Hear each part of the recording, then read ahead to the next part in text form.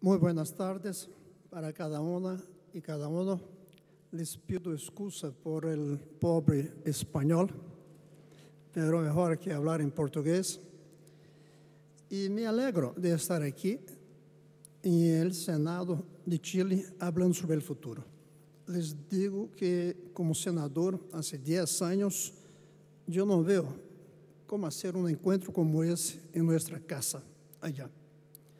Por isso me alegra muito. Me alegra lo que estamos falando e de seguir a lo que o senhor Borel iniciou, porque estou totalmente de acordo. Eu quero recordar lo que falou Guido. E Guido isso uma projeção de lo que vai passar em la ciência, la tecnologia e seus impactos sobre o mundo. Pero ele não falou lo que vai passar la política, porque é impossível saber como vai ser a, la política de aqui a 20, 30, 50 anos. Porque nós outros, os políticos de hoje, nós outros estamos atrapados em contradições muito fortes.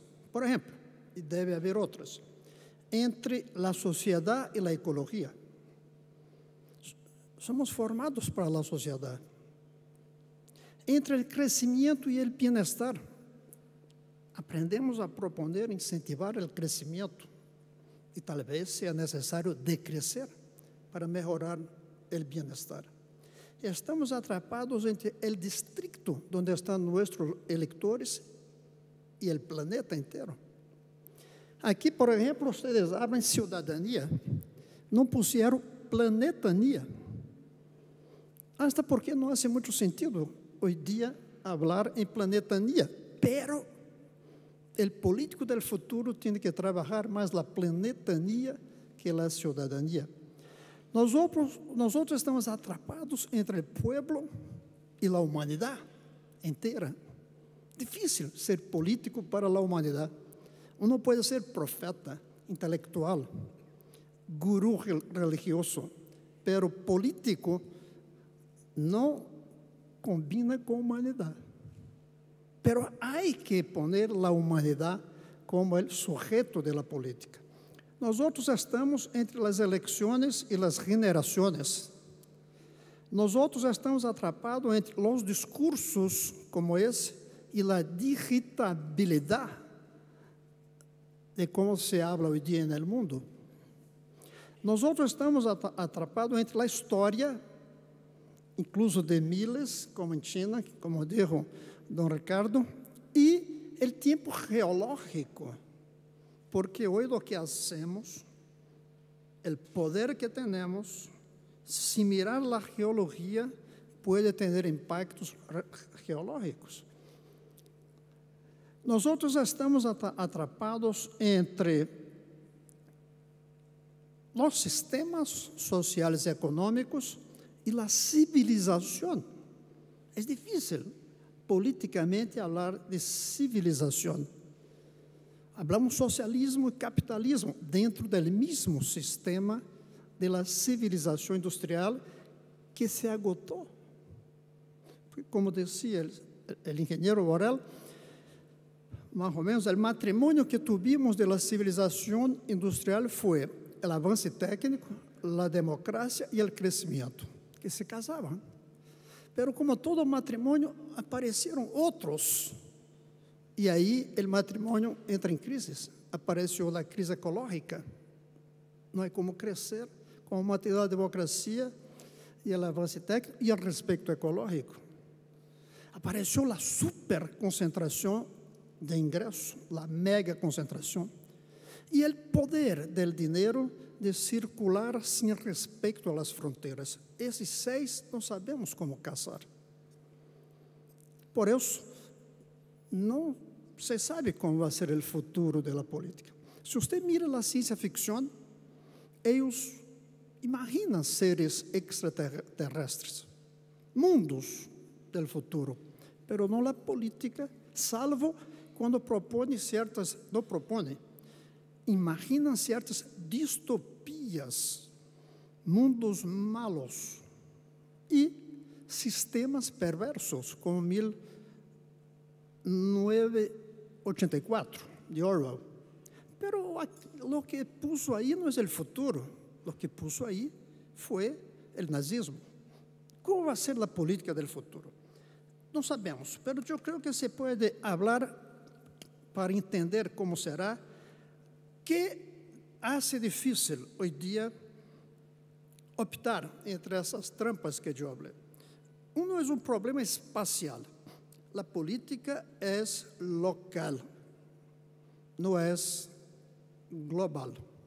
Quando os chefes de Estado se reúnem, e aqui está um que se reúne muitas vezes com outros, defende o interesse de Chile, não o interesse do planeta. Obama disse há pouco, quando foi a Copenhague, não há presidente do mundo. O presidente Obama pode hasta ter o sentimento de los riesgos ecológicos de la indústria automobilística e outras, pero ele não pode enfrentar seus eleitores que querem comprar mais autos. A presidenta de Brasil reduz o preço de los autos, porque isso lhe dá votos. Não propõe melhorar o transporte público, porque isso não melhora a eleição, porque toma muito tempo. Então, nós outros somos, hacemos política como os gregos, não como Confúcio, de que falou Dom Ricardo, como os gregos. Pero os gregos criaram o conceito de cidadania. Política era uma ação dentro da cidade. Logramos, graças incluso a Montesquieu, chegar ao Estado Nacional, pero não sabemos como fazer o passo hasta o mundo global. E aí me gostaria de dizer que não foi Montesquieu que não chegou a Bruxelas, é que o que Montesquieu propõe não sirve a Bruxelas hoje em dia. Por que três poderes? E não o pueblo como quarto poder, como hicieron em Tunísia. Aí não foi o judiciário, não foi o Congresso, não foi a presidência, foi o pueblo. Lo que é um bom livro que se chama Revolução sem líder, ou seja, revolução sem políticos.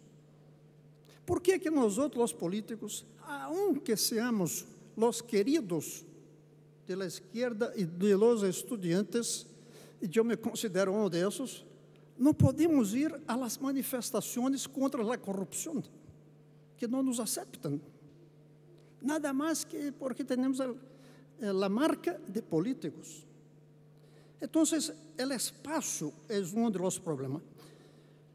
O engenheiro Borrell falou em Los Indignados. Los Indignados se hicieron, ele dijo, se hicieron mais rapidamente globais do que os presidentes, do que os políticos.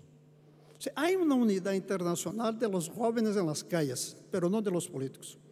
Hace unos meses eu propus a Guido que criáramos um político sem fronteiras, como é os médicos sem fronteiras, para que nos, nos, nos encontremos para debater não os problemas de nossos eleitores, sino os problemas do mundo inteiro.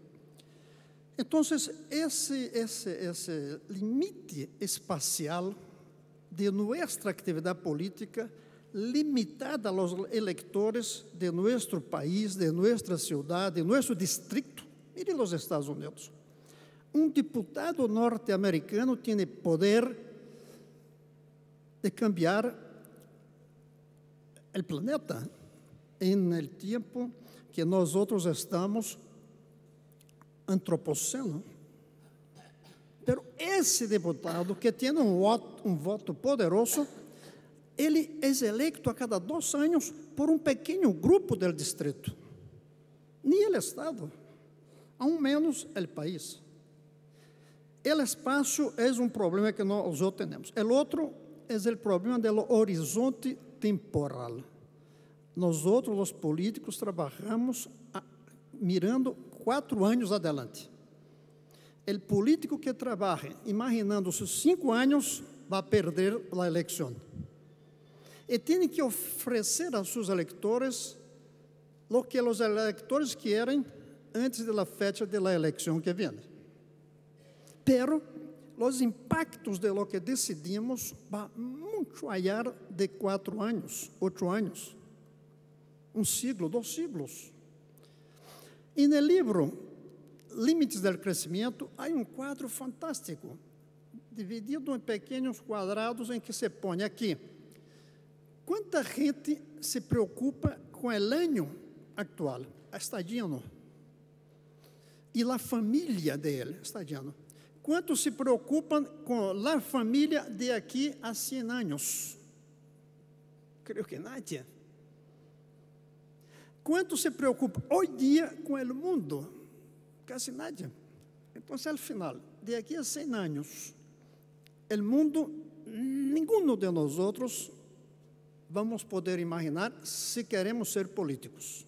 Podemos como intelectuais, como profetas, como poetas, pero não como políticos. O horizonte temporal hace difícil eh, que se Imagine como vai ser a política que, además de la, del planeta, trabalha os tempos, largos tempos adelante. O terceiro ponto, desafio, é como trabalhar o processo de toma de decisões e de comunicação com a gente. Nós outros somos políticos do micrófono. Lo mesmo de los griegos com a exceção do micrófono. Pero não é mais tempo, é isso aqui hoje dia que hace a política. Pero não sabemos como usar isso. Porque os que contestam nossas mensagens estão imaginando o que les interessa hoje dia, não amanhã. Eu sou um usuário de todos esses sistemas. Eu tenho aqui em meu Twitter 321 mil seguidores. Se eu puser uma mensagem, estou em Chile, participando de um congresso sobre o futuro, em cinco minutos, isso aqui estaria lleno, dizendo: quem paga a tua viagem? Ou te elegimos para que te quedaras aqui. Como vou trabalhar? Se eu creio que para minha função de político, mais importante estar aqui, hasta porque estamos em vacações aí em Brasil, não há trabalho no Senado, pero como... Van a perguntar, van a perguntar ¿Y cuánto emitió de gases de efecto invernadero en el viaje en avión? É verdade, é certo. Además, isso, há uma incoerência no discurso. E isso me gusta que um presidente abre pero, pero mi mujer me habla todos los días eso. Todos los días, todos los días. Entonces, la comunicación, ¿cómo hacerla? Porque imagínense una democracia directa que algunos revolucionarios proponen. Es un desastre. Porque la democracia directa refleja el interés y deseo de cada uno en el presente. Não és capaz de imaginar todos no futuro. A democracia directa é um desastre para o sistema ecológico, social e para o futuro. O outro ponto que quero poner para vocês é o problema de la salir de las ideologias em que estamos acostumbrados e a imaginar-se uma ideologia aún mais radical que é de cambio de la civilização. Nos acostumamos a uma dicotomia socialismo-capitalismo, eh, democracia, autoritarismo, mas é muito mais que isso. Pero, outra vez, é difícil em uma eleição eu falar de cambio civilizatório. Não lo entendo, incluso. Ou seguir o nosso maestro eh, eh, Morin e falar Brasil não necessita de desenvolvimento econômico, necessita de uma metamorfose de sua civilização. Imagine-se, em um processo eleitoral, em uns 20 segundos de televisão, falar isso. Por isso, estamos atrapados. Não sabemos como trazer para o debate político a palavra civilização. E por último, é os cambios que vamos necessitar de mentalidade. nós outros necessitamos muito mais de que cambios de um sistema econômico para outro. Necessitamos um câmbio da mentalidade, por exemplo, de consumir menos e buscar mais felicidades, mais bem-estar, aún sem consumir tanto. Mientras não, não ocorra esse câmbio de mentalidade, eu creio que a política e os políticos vamos estar atrasados. Os teléfonos avançaram em los 20 anos, mas nós outros políticos não avançamos em como usar o telefone. A biotecnologia avança em fazer com que a gente quase não morra se não se quita os aparatos. Pero não sabemos como fazer para administrar uma sociedade que se hace cada vez mais vieja e com um sistema de saúde cada vez mais caro. Então, o cambio de mentalidade é, para mim, o caminho. Pero como hacerlo? Como eu não sei como hacerlo, eu propongo o único que, a meu ver, pode servir em direção a isso, que é a razão que tenho de ser político e imaginar-se o futuro trabalhando o presente, a educação. A educação. A educação de qualidade definindo bem qualidade, igual para todos. Um outro ponto para concluir, a desigualdade. Não é o problema a desigualdade. A ideia de todos iguais em la consumação é um equívoco, incluso porque vai em conta da liberdade. O que necessitamos de igualdade radical é encontrar três imoralidades: a desigualdade na saúde, a desigualdade na educação e a desigualdade na justiça. A utopia do futuro, utopia, não sei como é que se habla em espanhol, utopia, é a igualdade em esses três. E tolerar as desigualdades na roupa, no auto, em onde vai de. Isso é um cambio de mentalidade. E eu creio que é o caminho. O único que tenho uma certa certeza que isso vai vir de uma revolução educacional. Todos os niños del mundo inteiro, em buenas escolas, o hijo del trabajador e na mesma escola del hijo de su patrão, e aprendendo para criar uma nova mentalidade. Las calles com os niños dessa escola que vão a cambiar os políticos de su tempo. Eles, los de hoje, e eu hablo isso sem sofrer, pero com autocrítica, nós outros de hoje, os políticos, estamos perdidos. E eu vim aqui para manifestar que estou perdido. E talvez aqui, nesses dois dias, eu encontre alguma resposta. Graças a vocês.